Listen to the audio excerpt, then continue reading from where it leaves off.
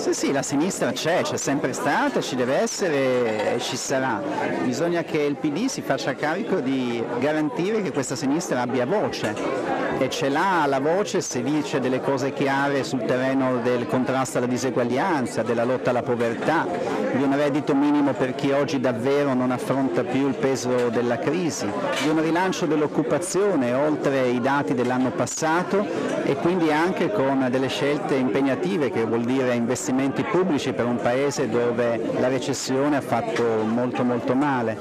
E poi bisogna sul piano della politica cercare di ricostruire il perimetro di un centro-sinistra che si candidi al governo delle principali città e domani del Paese. Non è semplice, io vedo gli ostacoli, vedo le difficoltà, il centro-sinistra è slabbrato in molte situazioni, da Torino